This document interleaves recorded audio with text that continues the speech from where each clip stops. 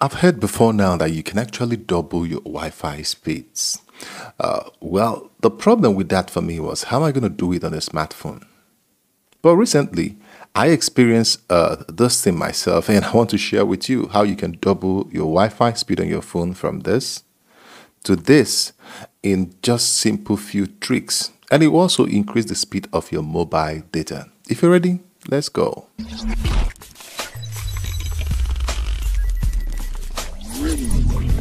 Okay, welcome back again to Smart Depot. I've been having problem with my 5 Mbps network and I thought that my router was bad. So I resetted the router, called uh, for a field support engineer from the ISP to come and check it.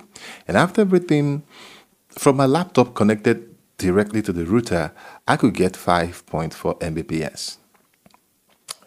And I was like, okay, but my phone barely gave me up to three. You know, only my phone connected, and this was the best I got.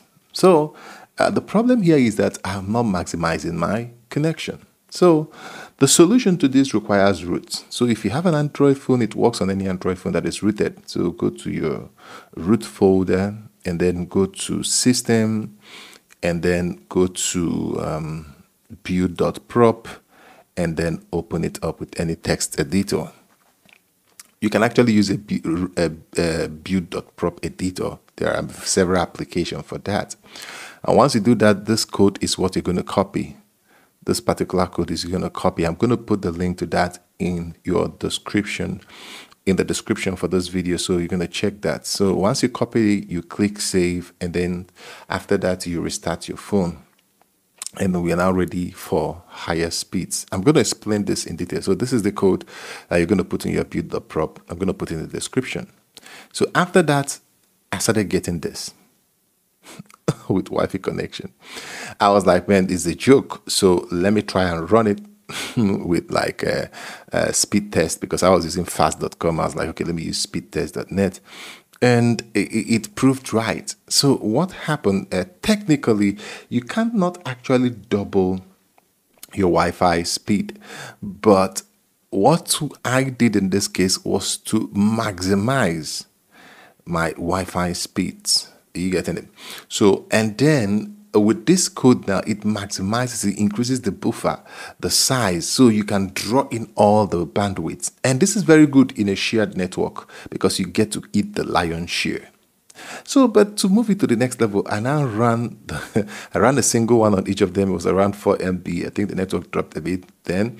So I now ran the two of them together. Now the laptop is connected with a cable directly to the router and my phone is connected wirelessly to the router. So now see the difference. Now after I've added this, now my phone now is eating the lion's share on the shared network. So that is what it means. It has opened up the mouth, the the width, the buffer size. As you can see that I also said like, okay, let me run it again later. And this time around the network was better when I ran it. As you can see the laptop is connected with cable to the router. So now I ran it again when the network was a little bit better and two of them simultaneously. So I want to see who actually takes more bandwidth. And at the end of the day, my phone kept on taking more bandwidth, running the same time with a laptop that is connected directly with cable. So this was like so so so so so strange to me because it was like too good to be true. So if you have uh, your android phone and you're rooted then i'm going to put the link in the description the codes you're going to put and then let's see your own results. So i want to hear from you from the comment section. Uh, tell me if this thing improved your result. I also realized that some phone have this uh, build.prop setup by default.